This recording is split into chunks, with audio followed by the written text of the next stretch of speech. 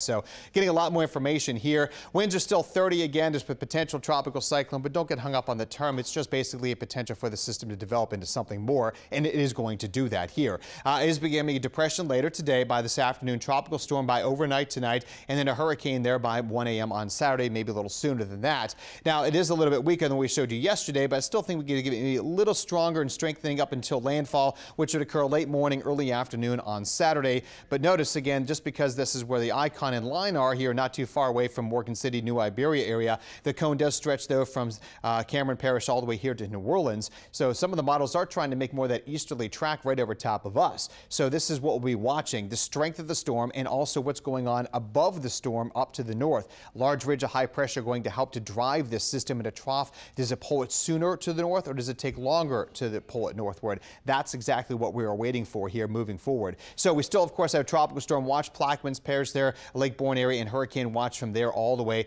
back into parts of the western part of the state. Now you'll notice the hurricane hunters, as mentioned, coming out of Tampa doing their mission here, uh, finding winds around 30 miles per hour, still not that strong. And they'll sample some of these thunderstorms and continuing to zigzag through. They are finding some lower pressure ratings, though, which does tell me that the storm is strengthening. As that pressure continues to fall, the storm does get a little stronger. Now, this is the American model. The update here just coming in this morning by 7 a.m. tomorrow or Friday does have it here south of the city of New Orleans. But notice it kind of takes a due north from there. It does not take it more than that westward track. So that trough I was talking about to the north would pull this word northward. It would also not be as strong of a system, but notice where the rain is displaced now from the city into Mississippi. So Mississippi, you're not out of the gun yet here. You still have to watch out for this as well, as with this model could show that continuing and the storm move to the north shore and then all the way up into Hattiesburg and then beyond into Alabama as we get into Sunday and would take a lot of the heaviest rain moving it more toward Mobile and the Florida Panhandle. European model, on the other hand, does have this one still kind of a more of that westward track. Still south of us here by Friday morning, but then still kind of a west northwest track toward Morgan City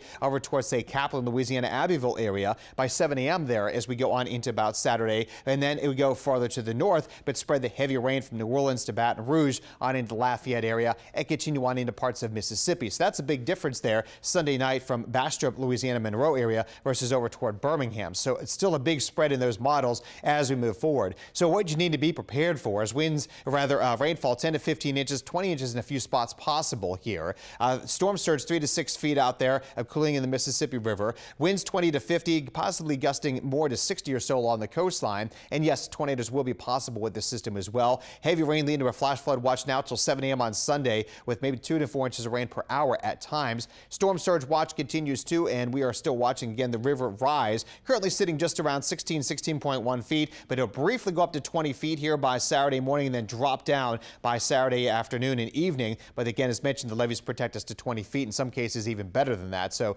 that's at least some good news there. So today's the time to prepare. Know where to go if we have some flooding issues out there. If you have to evacuate where you're supposed to go, the roads you're supposed to take as well too. Be aware of what's going on. Have that plan and stay aware. Keep it tuned to Channel 4. Right now, our weather is fairly quiet. We're sitting at 82 here in town. 70s on the North Shore back into the Houma area. Not much in the way of rain out there now. A couple coastal showers, but they're finding some dry air at the moment. That's kind of preventing most of them from coming on in. But we will see some showers coming in later. Some could try to produce a tornado or two, so we'll watch out for that. But you can see here some of these bands of rain may come in from lunchtime on into about the afternoon hours today, and then maybe kind of tapering off a little bit by dinner time. Overnight, we'll still see a little more rain coming in and look for a little more rain tomorrow than what we'll see today. Some of these could produce some gusty winds as well as can't rule out a tornado or two for tomorrow. And then the heaviest rain, the MIG rain threat is going to be a Saturday into Sunday with some windy conditions as well.